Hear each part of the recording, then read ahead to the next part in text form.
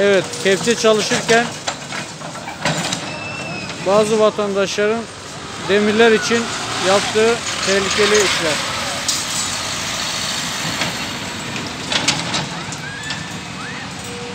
Bak, kepçe çalışırken durdukları yere bak.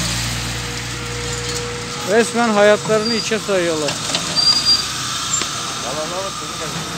He? Bak, bak. Şuna bak bak bak bak az daha altında kalıyordu.